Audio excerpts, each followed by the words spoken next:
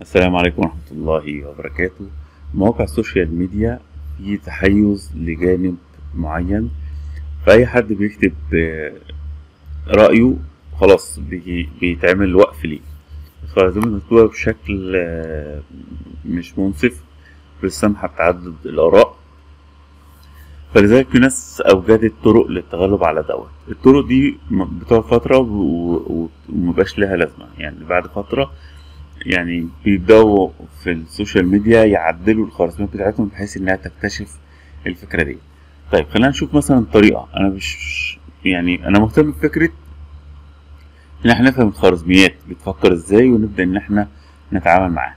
يعني مثلا لو إحنا كتبنا كلمة فلسطين حرة هنا الخوارزمية اللي موجودة هنا هتعمل إيه؟ بتبدأ إنها تغير في الخط. تمام؟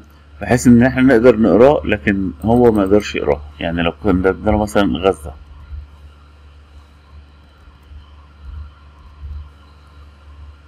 تمام؟ حتى هو حروف معينة عكسها. فالخوارزمية بتتلخبط. تمام؟ فهتفضل فترة طويلة بعد فترة يبدأ إن هو يعدل. لكن هو لما يقعد يعدل يعدل يقول له خلي بالك إن هما ممكن يقلبوا حرف الزين زي أو يقلبوا طبعا مش في كل الكلام هي في الكلمات اللي هو مركز عليها. تمام؟ يعني خلينا نشوف مثلا الأقصى.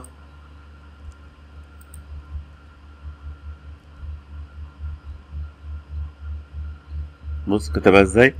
فممكن الإنسان عادي يقراها لكن ال- الخوارزميات بتاعت الكمبيوتر ممكن تقف تتعطل فيها شوية.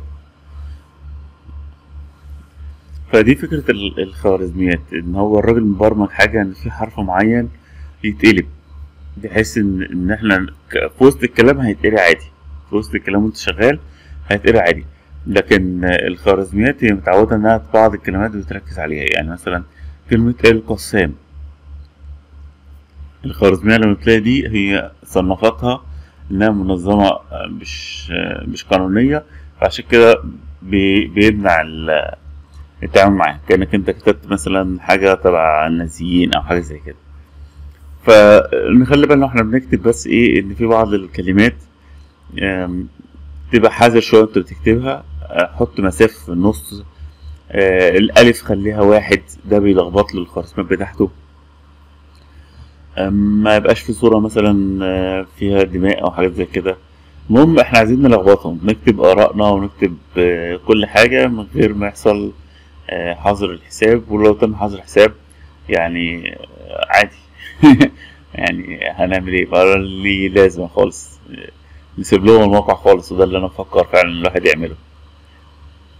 لو في مواقع حلوة ممكن آه، تعمل نفس اللي إحنا نفس اللي الموقع ده بيعمله يا ريت نكتبه عشان نبدأ نتناقش فيها إن شاء الله.